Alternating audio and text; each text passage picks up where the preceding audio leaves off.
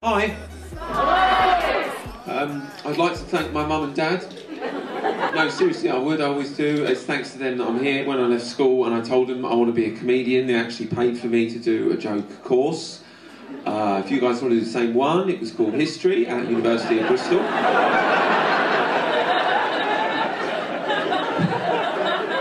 Now, my mum doesn't think that joke's funny at all. She was like, Alistair, can you stop using your history degree in jokes? I'm like, to be fair, mum, where else am I going to use that? right? I spent 22 grand on a history degree, man.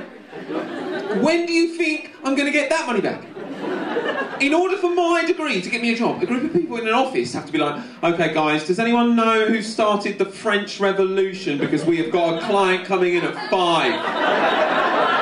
I don't want to get caught out on this again, guys. Also, the client does not want to talk to an expert. We are looking for someone with a 2-2. Somebody who sort of knows what went on, but not really, this guy. Right, this is what they do to young people these days. They send you to university, okay, and you get some fucking degree. What are you supposed to do with it?